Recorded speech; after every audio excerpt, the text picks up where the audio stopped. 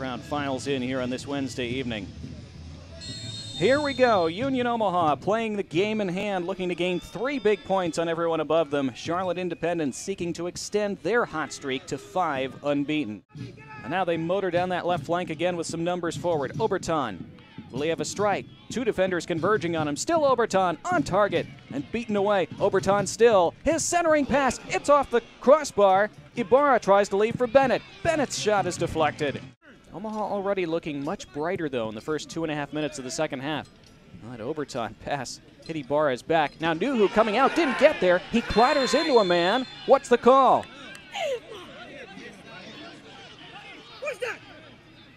Can't tell if the referees pointed to the spot. Let's see again. Even pitch side, there's confusion, we're told, as to whether this is a penalty or not. I Nuhu definitely doesn't get there, and Mbuyu goes clattering into him. Now we're told it is a penalty.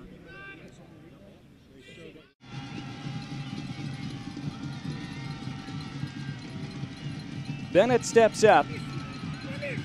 Bennett scores. Team lead with eight goals on the season. And boy, did he blast that home. That was unstoppable. Just misread the situation. And then Nuhu colliding with Mbuyu. Remember, Mbuyu left the game. Now the ball swung into the box. Might fall to Meza. Does fall to Meza. He plants it in the back of the net, and it's 1 1.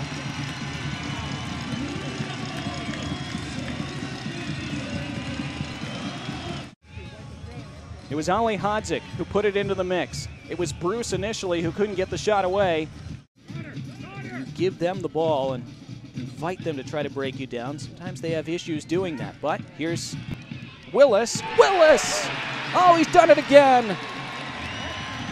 Another thunderbolt from the blue for the men in black. Giovanni Willis, a star in the making for Union Omaha. They've turned this around to lead 2 1. That's why you don't do that. That's why you don't back off him. That's why you don't leave him with space. He did it with his left foot that time, didn't he? Takeoff just plays it short for Meza, who will go through the same routine. That stays in play. Now Meza, top of the box. Kept out by Zendejas. Rebound, what a save.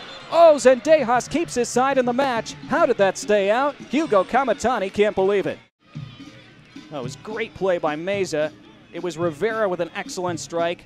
The first save was great. The second save. Doyle for Kametani. That's it. That's the final whistle. That is a massive three points for Union Omaha.